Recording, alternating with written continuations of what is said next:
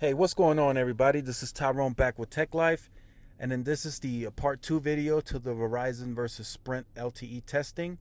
So here we go. Sprint now has band 41 live in El Paso, as you will see on part one. It is the first tower that has band 41 on it, and it it's performing well so far. Verizon, as you can see, seems to struggle in this area quite a bit. Um, I've already told them about this area they said they're going to replace it with a, um, not replace it, but add a new tower to this area to increase speeds. So that is definitely welcomed. And we should uh, soon see better speeds here from Verizon.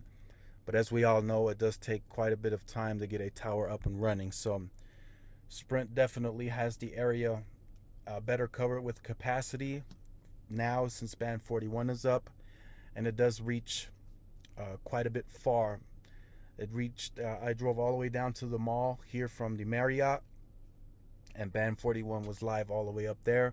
But the upload was very unusable as I got further away from the tower, but speeds were between 40 and 60. So definitely good to see that. This is the first area. Um, there's another area that's going to be live here in the next two to three weeks. So I'm going to keep a lookout for that.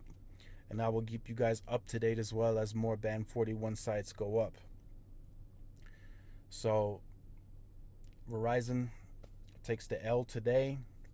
Of course, they're still better overall, but Sprint is adding band 41. So definitely stay tuned to the channel.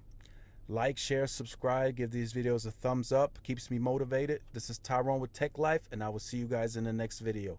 Peace.